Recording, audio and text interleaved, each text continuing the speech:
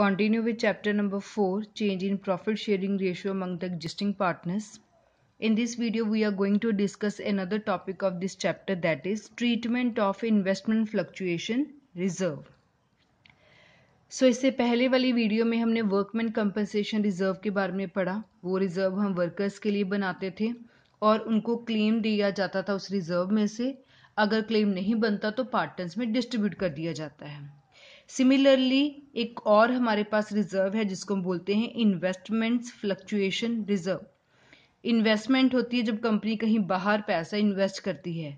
Fluctuation का मतलब है इंक्रीज और डिक्रीज हमने कहीं इन्वेस्टमेंट करी, हमने उसकी एक वैल्यू एक्सपेक्ट करते हैं कि इतनी कम से कम हमें वैल्यू ज़रूर मिलेगी बट इन केस अगर वो वैल्यू हमें नहीं मिल पाती, उसमें कोई वैल्यू में कमी आ जाती है तो वो वाली जो लॉस है, वो कमी है, उसको हम कहाँ से पूरा करते हैं? इन्वेस्टमेंट फ्लक्चुएशन रिज़र्व ठीक है?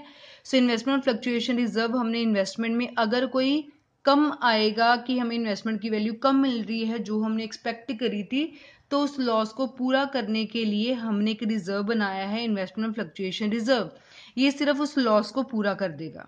और अगर सेम वही बात कि अगर कोई भी गिरावट नहीं आई कोई भी लॉस नहीं हो रहा तो सारे का सारा रिज़र्व किसका हो जाएगा? पार्टनर्स का हो जाएगा। सो so, इसमें भी हमारे पास फाइव केसेस है। हर एक केस इस इलस्ट्रेशन में कवर किया गया है।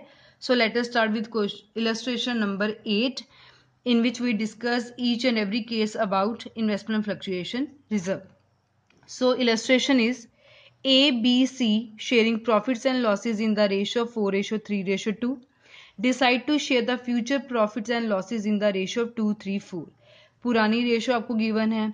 फिर उन्होंने फ़र्स्ट अप्रैल से डिसाइड कर लिया कि अब से हमारी रेशो होगी two ratio three ratio four an extract of their balance sheet is given thirty first March twenty twenty आपको एक एक्सट्रैक्ट गिवन है। अब ध्यान में देखना है। इन्वेस्टमेंट हमारे लिए एसेट होती है। सो एट कॉस्ट लिखा गया है टू लैख और रिज़र्व हमारे लिए एक लाइबिलिटी है, क्योंकि ये स्पेसिफिक रिज़र्व है सो लिख दिया liability side investment fluctuation reserve eighteen thousand पहले तो हम यही समझे इसका क्या मतलब है। अब इस एक्सट्रैक्ट का क्या मतलब है कि हमने कहीं इन्वेस्टमेंट की, हम चाहते हैं कि हमें टू लैक अमाउंट ज़रूर मिले। ये तो हमें चाहिए ही चाहिए। अगर इन केस हमें ये टू लैक अमाउंट नहीं मिलती या कम मिलता है तो हम वो कमी कहाँ से पूरा कर लेंगे? अपने इन्वेस्टमेंट फ्लक्चुएशन रिज़र्व से। ये रिज़र्व हमने उस कमी को ही पूरा करने के लिए बनाकर रखा है। हमें इन्वेस्टमेंट की वैल्यू चाहिए टू लैक अब इसको ही ध्यान में रख के हम पूरा क्वेश्चन सॉल्व करेंगे। So case number one when there is no other information मतलब आपको ये बैलेंस शीट का एक्सट्रैक्ट गिवन है उसमें आपको रिज़र्व और इन्वेस्टमेंट की वैल्यू गिवन है और एडजस्टमेंट्स में आपको कुछ भी नहीं गिवन कुछ भी नहीं गिवन का मतलब है, हम चाहते हैं कि हमें इन्वेस्टमेंट की वैल्यू मिले टू लैख और इसका मतलब हमें मार्केट में उसकी वैल्यू भी मिल रही है टू लैख हम चाहते भी टू लैख थे, हमें मिल भी टू लैख रही है। तो ये रिज़र्व किसी काम आया? ये रिज़र्व किसी भी काम नहीं आया। तो इस रिज़र्व का क्या करेंगे? इस रिजर्व्स को पार्टनर्स में बांट देंगे। क्योंकि हमें जितनी इन्वेस्टमेंट की वैल्यू चाहिए थी वो हमें पूरी मिल रही है। तो ये रिज़र्व हमारे किसी भी काम नहीं आया। तो इसको हम पार्टनर्स में डिस्ट्रीब्यूट कर लेंगे। सो so, कैसे लिखेंगे?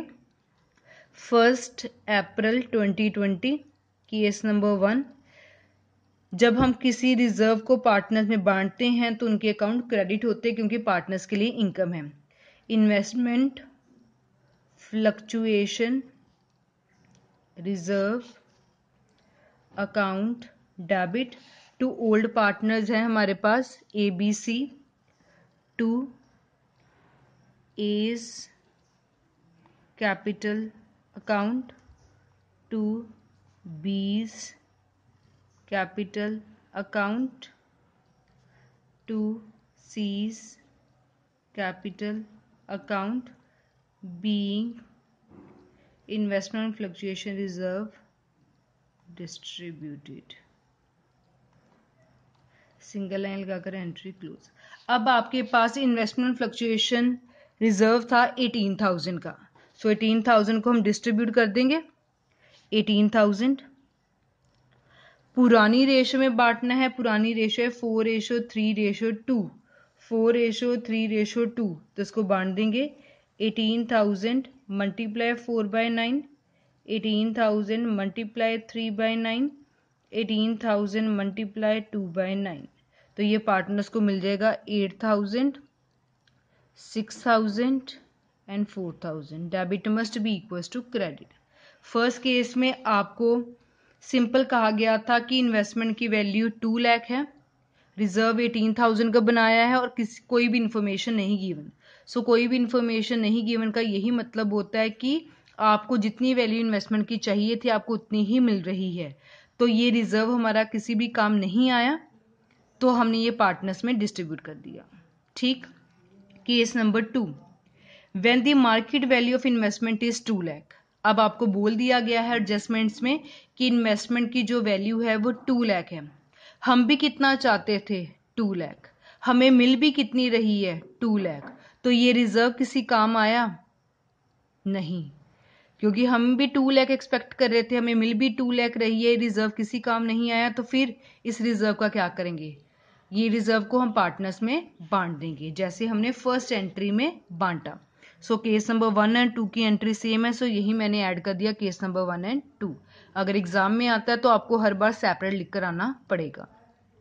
Then moving to case number three when the market value of the investment is one lakh ninety one thousand आपको इन्वेस्टमेंट की वैल्यू मिल रही है one lakh ninety one thousand हम कितना चाहते थे? टू लैख हम चाहते थे कि हमें इन्वेस्टमेंट की वैल्यू मिले टू लैख बट हमें मिल रही है सिर्फ़ one lakh ninety one thousand हमें कम मिल रही है? कितना लॉस हो रहा है हमारा? नाइन थाउज़ेंड का. माइनस करके देख लिया। हमने रिज़र्व इसी काम के लिए बनाया था। रिज़र्व में पड़े हैं हमारे एटीन थाउज़ेंड अब इस एटीन थाउज़ेंड में से नाइन थाउज़ेंड को अगर हम लॉस पूरा कर भी लें तो स्टिल हमारे पास रिज़र्व में नाइन थाउज़ेंड बच जाएगा। तो वो नाइन थाउज़ेंड किसका होगा? वो नाइन थाउज़ेंड पार्टनर्स का होगा। इन देयर ओल्ड रेशो ठीक है? इसको हम करके देखते हैं। ध्यान से देखना। Investment fluctuation reserve account debit. हमने रिज़र्व बनाया था एटीन थाउज़ेंड का। बट हमारी इन्वेस्टमेंट की वैल्यू है जो नाइन थाउज़ेंड से कम हो गई। तो पहले तो वो लॉस को ही पूरा किया जाएगा। सो so, हमने इस रिज़र्व में से इन्वेस्टमेंट में पैसे डाल दिए नाइन थाउज़ेंड। ठीक है? अब वो लॉस हमारा पूरा हो गया। एटीन में से अगर मैं नाइन इन्वेस्टमेंट में डाल के वो लॉस पूरा कर भी दूँ तो स्टिल मेरे पास इन्वेस्टमेंट में नाइन थाउज़ेंड बच जाता है फंड में रिज़र्व में। तो वो नाइन थाउज़ेंड मैं किसको दूँगी? पुराने पार्टनर्स पुरानी रेशो में? So A's capital account B capital account C capital account अब मेरे पास बचा सिर्फ़ नाइन थाउज़ेंड उस नाइन थाउज़ेंड को मैंने इनकी ओल्ड रेशो में बांट दिया। Four by nine, three by nine and two by nine. ये पार्टनर्स को मिल गया four thousand, three thousand, two thousand. Debit must be equals to credit. Being excess, investment fluctuation reserve, distributed among partner जो हमारे पास ज़्यादा investment fluctuation reserve बच गया था वो हमने पार्टनर्स में डिवाइड कर दिया। सो केस नंबर थ्री में हमारी इन्वेस्टमेंट में कमी आ रही थी नाइन थाउज़ेंड से। सो so, पहले इस रिज़र्व में से नाइन थाउज़ेंड हमने इन्वेस्टमेंट में डाला। जो हमारे पास रिमेनिंग नाइन थाउज़ेंड बच गया वो हमने पार्टनर्स की ओल्ड रेशो में पार्टनर्स में बांट दिया। Then it is case number four when market value of investment is two lakh eighteen thousand अब यहाँ ध्यान से देखना, हम इन्वेस्टमेंट की वैल्यू चाहते थे टू लैख बट हमें मार्केट में उसकी वैल्यू मिल रही है टू लैख एटीन थाउज़ेंड ज़्यादा मिल रही है? जब ज़्यादा मिलती है तो मतलब हमें प्रॉफिट हो गया।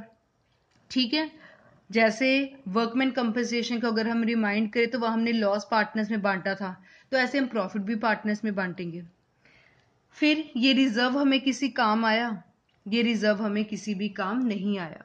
सो so, इस केस में ज़्यादा एंट्रीज बनेंगी। पहली एंट्री तो यही है कि ये रिज़र्व हमारे किसी भी काम नहीं आया क्योंकि हमें पहले बहुत ज़्यादा इन्वेस्टमेंट की वैल्यू मिल रही है तो ये रिज़र्व हम पार्टनर्स में डिस्ट्रीब्यूट कर लेंगे। सेकंड जो ये फ़ायदा हुआ है इसको रीवैल्यूएशन में डाल लेंगे। फिर रीवैल्यूएशन में फ़ायदा डालने के बाद पार्टनर्स में डिस्ट्रीब्यूट कर देंगे।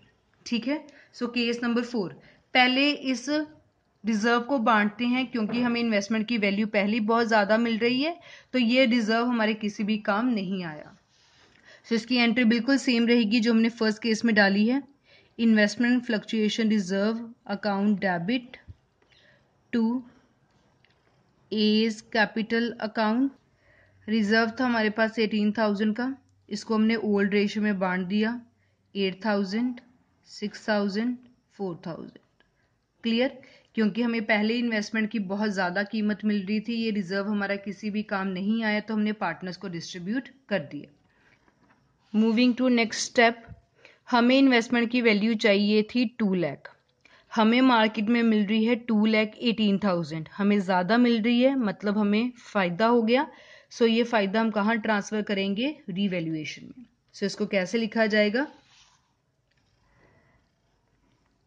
Investment account debit to revaluation क्योंकि जब लॉस होता है रीवैल्यूएशन को डेबिट करते हैं जब फ़ायदा होता है तो रीवैल्यूएशन को क्रेडिट करते हैं। अब हमें कितना फ़ायदा हो रहा है? एटीन थाउज़ेंड का। सो so, लिख लिया eighteen thousand eighteen thousand being investment transferred to revaluation अब हमें जो ये इन्वेस्टमेंट में फ़ायदा हुआ है जो हमने रीवैल्यूएशन में ट्रांसफ़र किया अब ये फ़ायदे को हम पार्टनर्स में डिवाइड करेंगे। सो so, जब भी हमने कोई प्रॉफिट पार्टनर्स में डिवाइड करना है तो उनके अकाउंट हमेशा क्रेडिट होते हैं। सो so, एंट्री बन जाएगी। Revaluation account debit to A's capital account to B's capital account, to C's capital account. हमें फ़ायदा हुआ था एटीन थाउज़ेंड का। सेम इसको हमने पुरानी रेशो में ही बांटना है तो eight thousand, six thousand, four thousand. Being profit distributed among partners so case number fourth में हमारी बेसिकली तीन एंट्रीज पड़ी। पहली एंट्री पड़ी जब रिज़र्व हमारा किसी भी काम नहीं है तो हमने रिज़र्व को बांट दिया। सेकंड इन्वेस्टमेंट की वैल्यू हमें ज़्यादा मिल रही तो हमने रीवैल्यूएशन में डाली। फिर रीवैल्यूएशन में जो प्रॉफिट था वो पार्टनर्स में डिवाइड कर दिया। सो so, तीन एंट्री बनी। Last case is case number fifth the market value of the investment is one lakh seventy three thousand. अब ये ध्यान से देखना। हम इन्वेस्टमेंट की वैल्यू चाहते हैं टू लैख ठीक है? और हमें इन्वेस्टमेंट की वैल्यू मिल रही है सिर्फ़ one lakh seventy three thousand मतलब हमें लॉस कितने का हो गया? ट्वेंटी सेवन थाउज़ेंड का डिफरेंस ट्वेंटी सेवन थाउज़ेंड हमने रिज़र्व जोड़ा है सिर्फ़ एटीन थाउज़ेंड का। बट लॉस हमें हो रहा है ट्वेंटी सेवन थाउज़ेंड का। तो लॉस ज़्यादा हो रहा है सो जैसे ज़्यादा लॉस होता है तो हम रीवेल्यूशन में ट्रांसफ़र करते हैं। सो देखें इसको कैसे किया जाएगा। पहले तो हमें लॉस ज़्यादा हो रहा है तो ये रिज़र्व पूरा हमारा यूज़ हो गया। Investment fluctuation reserve account debit to investment account ध्यान से देखना। हमारी इन्वेस्टमेंट में कितनी हमें कमी आई, कितना लॉस हुआ? ट्वेंटी सेवन थाउज़ेंड का। क्योंकि हम चाहते हैं कि हमें टू लैख मिले बट मिल सिर्फ़ one lakh seventy three thousand जा रही है। तो मतलब ट्वेंटी सेवन थाउज़ेंड का हमें लॉस हो गया सो ट्वेंटी सेवन थाउज़ेंड मैंने इन्वेस्टमेंट के आगे लिख दिया। रिज़र्व तो हमने बनाया है सिर्फ़ एटीन थाउज़ेंड का। लॉस हो रहा है ट्वेंटी सेवन थाउज़ेंड का रिज़र्व है सिर्फ़ एटीन थाउज़ेंड का। तो अभी भी मेरा ज़्यादा लॉस बन रहा है डेबिट साइड बैलेंसिंग फिगर कम आ रही है मतलब मुझे कितना लॉस हो गया? माइनस करके नाइन थाउज़ेंड का। वो नाइन थाउज़ेंड का लॉस मैंने कहाँ डाल दिया? रीवैल्यूएशन में डाल दिया। जब लॉस डालते हैं तो डेबिट किया जाता है रीवैल्यूएशन अकाउंट को। So being excess amount transferred to revaluation अब जैसे हम प्रॉफिट पार्टनर्स में बांटते थे, ऐसे हमें लॉस भी पार्टनर्स में बांटना पड़ेगा। जब हम लॉस पार्टनर में बांटेंगे तो पार्टनर्स के अकाउंट डेबिट होते हैं। सो एंट्री बन जाएगी। A's capital account debit B's capital account debit C's capital account debit to revaluation अब हमें लॉस हो रहा था रीवैल्यूएशन अकाउंट में नाइन थाउज़ेंड का। सो so ये नाइन थाउज़ेंड का लॉस हमने पार्टनर्स में डिवाइड कर दिया। तो पार्टनर्स के हिस्से में आएगा आपके पास four thousand three thousand and two thousand debit must be equals to credit being revaluation, loss, distributed among partners. Clear so case number fifth में हमारा लॉस ज़्यादा आ रहा था तो रिज़र्व इस्तेमाल करने के बाद भी हमारे पास नाइन थाउज़ेंड का लॉस आ गया। वो हमने रीवैल्यूएशन में डाला और बाद में ये नाइन थाउज़ेंड का लॉस हमने पार्टनर्स में डिवाइड कर दिया। क्लियर सो so, ये सभी केस हमने डिस्कस कर लिए हैं about investment fluctuation reserve basically investment fluctuation reserve में आपको एक ही बात का ध्यान रखना है कि हम इन्वेस्टमेंट की वैल्यू चाहते हैं टू लैख अगर तो कोई इन्फॉर्मेशन नहीं गिवन तो मतलब ये रिज़र्व पार्टनर्स में डिवाइड कर दो।